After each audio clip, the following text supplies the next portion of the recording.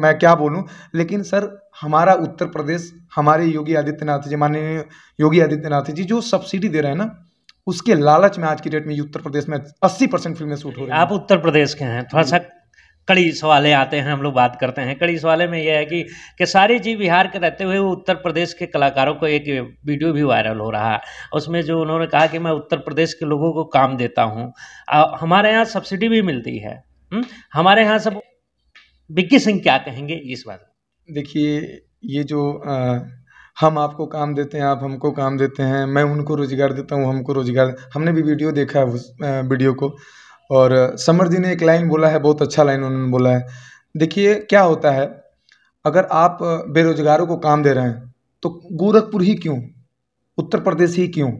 उत्तर प्रदेश में और भी कलाकार हैं, दिनेश लाल नेहरू जी हैं, आजकल रवि किशन जी सांसद हैं, हमारे गोरखपुर के माननीय रवि किशन जी, तमाम कलाकार हैं गोरखपुर से।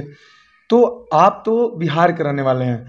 क्या गोरखपुर में ही बेरोजगार हैं? क्यों? बिहार में बेरोजगार लोग नहीं हैं? बिहार में भी बेरोजगार है ना? तो अगर आप इतना दानवीर हैं या आप इतने लोगों के बारे में सोचते हैं, देखिए मैं कोई देखा सुनी बात नहीं बता रहा हूँ जो नेचुरल हो मैं बता रहा हूँ। जैसे मुझे भूख लगी तो हो सकता है आपको भी भूख लगती होगी। तो जैसे अगर यूपी के लोगों को बेरोजगारी की बेरोजगार हैं वैसे बिहार के भी तो लोग बेरोजगार होंगे। तो अगर आप इतना है एकदम। अगर आप इतना दानवीर या अच्छे इंसान हैं तो आप एक फ़िल्म यूपी में करिए दूसरी फ़िल्म आप बिहार में करिए। आप अपने गाँव क्षेत्र में करिए आप अपने शहर में करिए ताकि लोगों को लगे कि खेसारी जी या एवरीबॉडी जो भी है एवरीथिंग जो भी है जितने कलाकार हैं वो हर क्षेत्र को देख रहे हैं। यानी आप सबको समान नज़र से देख रहे हैं। इसका मतलब ये नहीं है कि केवल गोरखपुर में या उत्तर प्रदेश में ही बेरोजगारी है। ये तो चलिए एक बहाना है। खैर, ये लोग बड़े स्टार हैं, मैं क्या बोलूँ? लेकिन सर, हमारा उत्तर प्रदेश, हमारे योगी आदित्यनाथ जी, माननीय योगी आदित्यनाथ जी जो सब्सिडी दे रहे हैं ना, उसके लालच में आज की डेट में उत्तर प्रदेश में अस्सी परसेंट फ़िल्में शूट हो रही हैं। वो तो बिहार के लोग इसी किसे आके हाँ लेकिन अब उसका आदमी ये जैसे खो गए बात ना कि नमक खा के नमक नहीं एक शब्द होता है हमारे भोजपुरी में बोला जाता है। आप ये मत कहिए कि रोज़गार दे रहे हैं रोज़गार देने के लिए मोदी जी योगी जी बैठे हैं। गोरखपुर में तमाम फैक्ट्रियाँ लग गई हैं तमाम काम हो रहे हैं उत्तर प्रदेश में तमाम चीज़ें हो रही हैं। आपके रो, रोज़गार देने से हमारे उत्तर प्रदेश को रोज़गार नहीं मिल रहा है।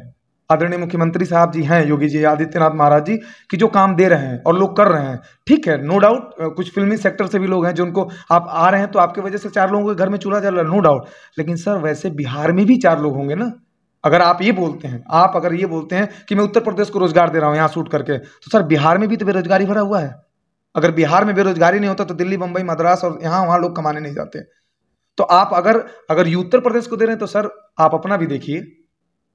उसमें भी एक बात और भी आता है क्योंकि गोरखपुर शूटिंग भी चल रहा था केसारी जी का शूटिंग वीडियो क्या आस्था के लेकर जो वीडियो वायरल हो गया बताइए ऐसे जगह पर शूट करना जहाँ मंदिर आस्था लगा उसको बना के गेट पे गेट में जूता मारना ये सब चीज़ें वायरल हुआ। देखिए क्या मैं बताऊँ आपको?